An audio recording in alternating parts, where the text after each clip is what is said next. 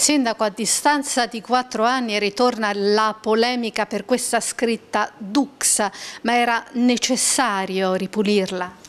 Ma non è necessario, ma credo che la volontà del sindaco, dell'amministrazione, ma anche e soprattutto della popolazione di Villa Santa Maria, che è cresciuta con la scritta, eh, valga la pena ogni qualvolta è possibile ripulirla. Questa c'è stata un'occasione perché abbiamo eh, la realizzazione di altre vie di risalita per rocciatori e quindi ho chiesto al, rocciatore insomma, di ripulirla. Il sindaco di Villa Santa Maria Giuseppe Finamore risponde alle polemiche sollevate dopo la ripulitura della scritta Duxa sul costone che sovrasse il paese. La vicenda risale al 2019 quando l'allora onorevole Camillo D'Alessandro fece un'interrogazione parlamentare in cui denunciava la scritta sulla montagna quella scritta è lì dagli anni 40, risponde il sindaco. È una scritta incisa e non dipinta ed è in rilievo e quindi va ripulita con acqua e una spazzola di ferro. È un lavoro anche duro perché insomma, le lettere sono alte 4 metri, quindi...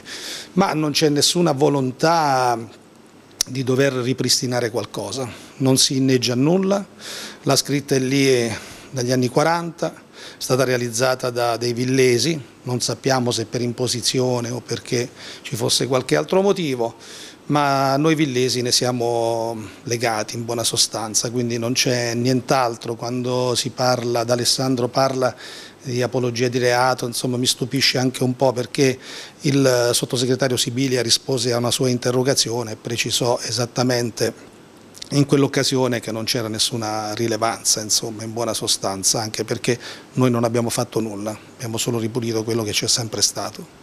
Non ha timore che possa essere un luogo di ritrovo per alcuni neofascisti, per esempio?